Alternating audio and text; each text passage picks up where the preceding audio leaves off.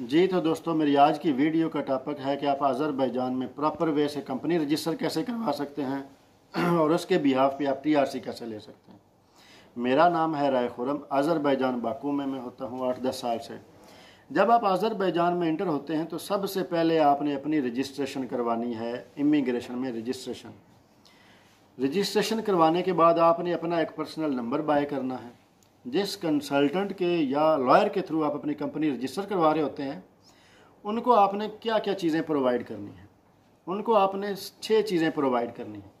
Number एक, आपने जहाँ पे रह रहे हूँ, वहाँ का एड्रेस देना है।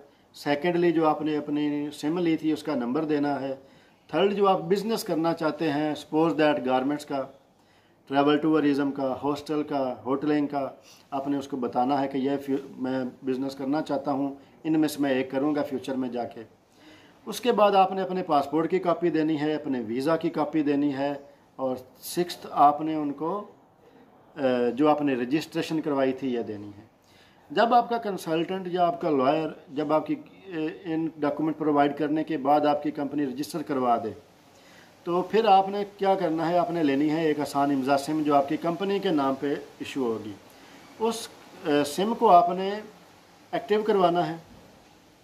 तो जो आप बिज़नेस करना चाहते हैं सपोज़ दैट आप गारमेंट्स का बिज़नेस करना चाहते हैं तो उसके लिए आपने एक शॉप लेनी है रेंट पे लेनी है। तो जो उसका एग्रीमेंट है, आपने वो एग्रीमेंट सिंपल नहीं करवाना, आपने उसको नोटरियाट वाला कॉन्ट्रैक्ट करवाना है। ठीक है? उसके बाद आपने एक अकाउंटेंट हायर करना है। अकाउंटेंट का क्या काम होगा? जो आपने आसान इमजा सिम बाय की थी, उस सिम के बिहाफ पे ऑनलाइन जो आपने अज़रबैजान के एम्प्लॉयज़ अपने रखने हैं, अपने गारमेंट्स की शॉप के लिए, जो आपने हायर करने हैं, एक या दो या जितने आप करना चाहें, वो उनके कॉन्ट्रैक्ट ऑनलाइन बनाएगा, ठीक है? कॉन्ट्रैक्ट बनाने के बाद आपका आ जाता है जी, जो आप सेल आउट करेंगे तो उनके लिए जो आप उनको प्रूफ देंगे कि ये चीज़ें मैंने सेल आउट की हैं, उनका जिनका टैक्स बनेगा, जिनकी बिहाफ पे आपका सेलिंग टैक्स तो आपकी इनकम टैक्स जो आपकी इनकम का होगा, वो जो टैक्स होगा।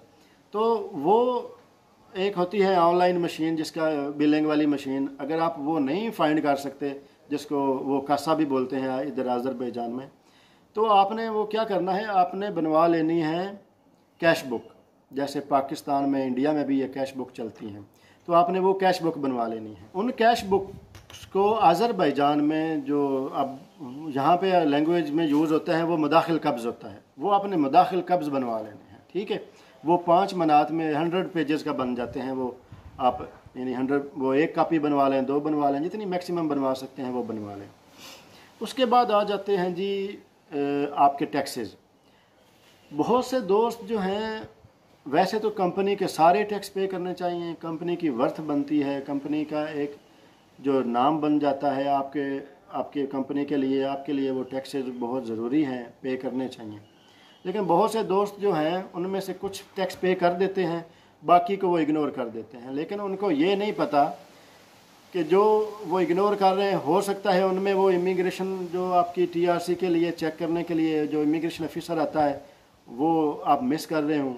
तो उस, जिसकी बिहाफ पे आप वो, आपकी टीआरसी रिजेक्ट हो जाए। तो मैं आपको बताता हूँ कि वो कौन से दो ऐसे टैक्स हैं जो आपने हर सूरत पे करने हैं।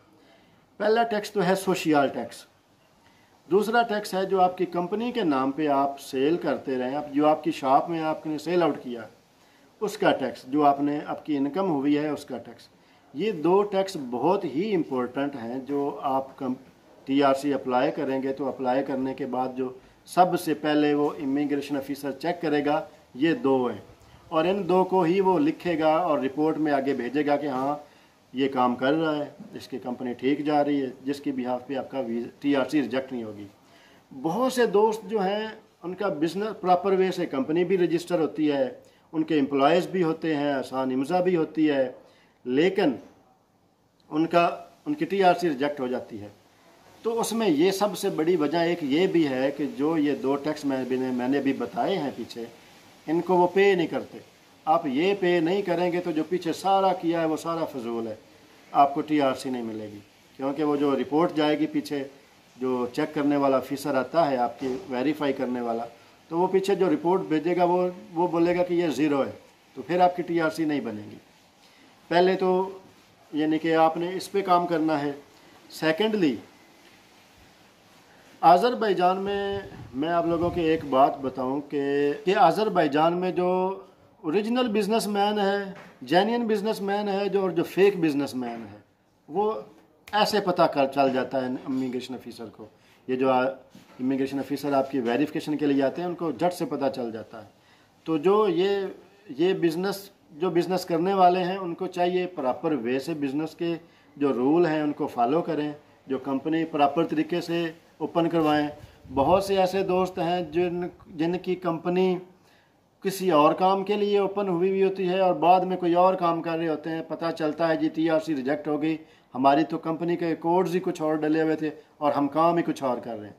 लिहाजा, अगर बाद में आपको इन चीज़ों का पता चले तो जो आपने आसान इमजा सिम ली थी, जो आपका अकाउंटेंट है, उसको बताएँ कि मैं ये बिज़नेस कर रहा हूँ, ये कोड इसमें हैं या नहीं हैं, वो चेक करेगा, वो बता देगा। अगर नहीं होंगे तो वो ऑनलाइन आपके फ्री में ऐड हो जाएँगे। तो ये इन चीज़ों का ख़ास ख्याल रखें। अज़रबैजान में जब आप कंपनी रजिस्टर करवाएँ, जब आप टीआरसी अप्लाई करें तो उसको प्रॉपर तरीके से फॉलो करें। प्रॉपर वे से, ठीक है? जिनको प्रॉपर वे का नहीं पता, जिन और बहुत से ऐसे दोस्त हैं जो अज़रबैजान में आते हैं, दो तीन दिन में कंपनी ओपन हो जाती है और तीसरे चौथे दिन वो अपनी टीआरसी अप्लाई कर देते हैं। तो इस एक एक इसकी वजह यह भी है कि जो आपने जल्दी जल्दी में टीआरसी अप्लाई कर दी है, आपने आगे टीआरसी obtain करने के लिए जो आपने वर्कआउट करना था, जो आपने जो प्रोसेस को फॉलो करना था, उसको किया नहीं है, और आपने जल्दी में अप्लाई कर दी है तो वो आपकी रिजेक्ट हो जाएगी। तो बेहतर ये है कि जब आप अपनी कंपनी ओपन कर लें, आपके, मैं, आपके पास एक महीने का टाइम होता है। आप लास्ट टू थ्री डेज़ में भी अप्लाई कर सकते हैं, उसमें इशू नहीं है, आपकी रिजेक्ट नहीं होगी, अगर आप एंड पे अप्लाई करेंगे। तो लेकिन आप उसको प्रॉपर वे से अप्लाई करें प्रॉपर तरीके से फॉलो करें जो जो रिक्वायरमेंट्स हैं उनको पूरा करें, जैसे कि मैंने आपको बताया। और ये जो बहुत से दोस्त ऐसे हैं, ये जो मैंने आपको कैश बुक बताई थी, मुदाखिल कब्ज़, ये भी नहीं बनवाते, ये भी वो चेक करते हैं। ये भी बहुत ज़रूरी है टैक्स भी बहुत ज़रूरी है एम्प्लॉयज़ भी ज़रूरी हैं। उसके बाद जो आपका कॉन्ट्रैक्ट है शॉप का, वो भी ज़रूरी है। इन चीज़ों को फॉलो करेंगे तो आपकी टीआरसी आपको लाजमी मिलेगी और आपका बिज़नेस आपका बिज़नेस जो होगा वो, उस पर तो आपकी अपनी मेहनत होनी है, लेकिन टी आर सी इंशाल्लाह आपको लाजमी मिलेगी। ठीक है तो दोस्तों, अगली वीडियो तक के लिए अल्लाह हाफिज़।